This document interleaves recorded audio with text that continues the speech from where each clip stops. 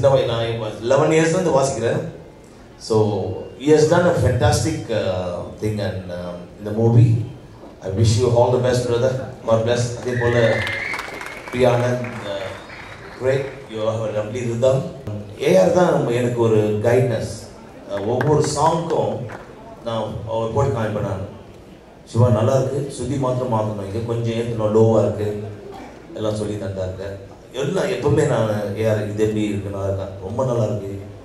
So thank you very much AR and all everyone supported me Viswanathan sir அடிக்கடி சொல்லுவார் சங்கீதம் நிறைய பேருக்கு கிடைக்கும் ஆனால் இங்கீதம் கிடைக்காது அப்படின்னு சொல்லி சிவமணிக்கு சங்கீதமும் இருக்கு இங்கீதமும் இருக்கு.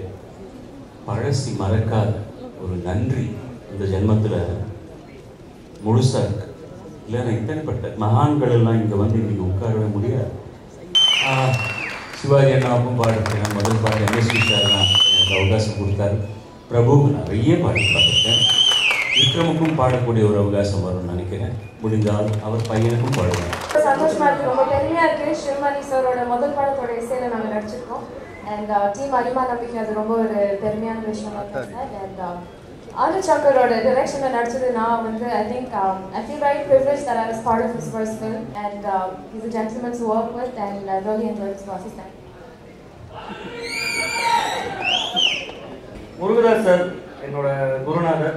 அவர் தான் எல்லாமே. ஸோ அவர் இல்லைன்னா நான் இன்னைக்கு இல்லை. அவர்கிட்ட தான் எல்லாமே கற்றுக்கிட்டது நீங்கள் விஷுவல் ட்ரெய்லர் ஏதாவது நல்லா இருக்குன்னு நினச்சிருந்தீங்கன்னா அது வந்து அவரோட ட்ரைனிங் ஃபில்ம் மேக்கிங் ஸ்கிரிப்டிங் எல்லாமே அவரோட ட்ரைனிங்கில் அவர்கிட்ட தான் எல்லாமே கற்றுக்கிட்டேன் so thank you so much for everything sir எனக்கு பிடிச்ச அசிஸ்டன்ட் டைரக்டர் மட்டும் கிடையாது.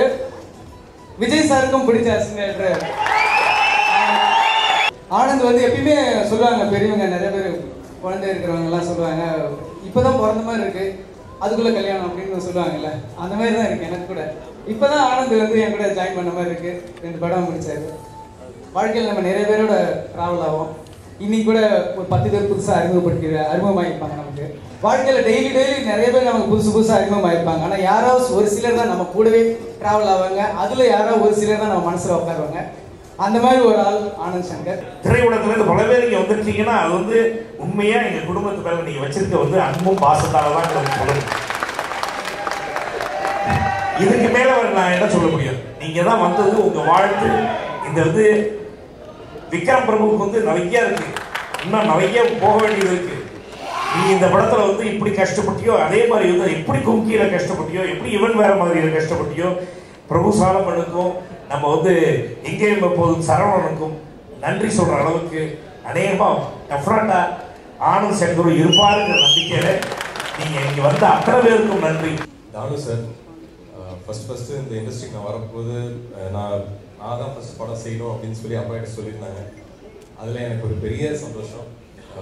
ஆனால் அப்போ கும்கி வந்ததால் செய்ய முடியாமல் இப்போ தான் செய்ய முடிஞ்சுச்சு. ஆனால் கும்கி ஃபஸ்ட்டு படம் அப்போது யானைன்னு வந்துச்சு.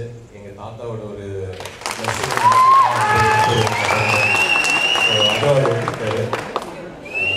அந்த ஒரு நல்ல ஸ்டார்ட்ல தான் இன்னைக்கு இருக்கேன். விக்ரம் பிரபு இன்னும் ரெண்டு வருஷத்துக்குள்ள என்ன மாதிரி லெவலுக்கு போக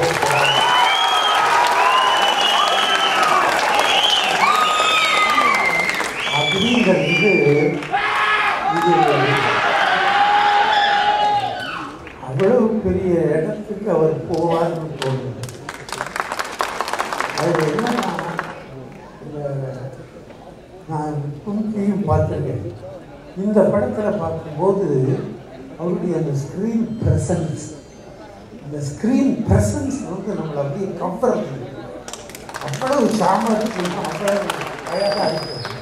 அவர் பார்த்த பார்க்க பார்க்க எப்பவும் பார்க்கணும் போல இருக்கு. சாதாரணமாக சினிமா பார்க்கும்போது பொம்னாட்டியை இதை பார்க்க தோணும். ஆனால் இவரை பார்க்கணும்னு தோணுது. ஏன்னா இவருடைய முகத்தில் வந்து அப்படி ஒரு கவர்ச்சி இருக்குது இன்னும் சொல்ல போனால் நான் ரொம்ப அதிகமாக சொல்ல நினைக்காதீங்க. அதிகம் ஒன்றும் இல்லை இவர் வருவார். எனக்கு அமிதாப் பச்சனுடைய ஸ்க்ரீன் ப்ரெசன்ஸ் தெரியும்.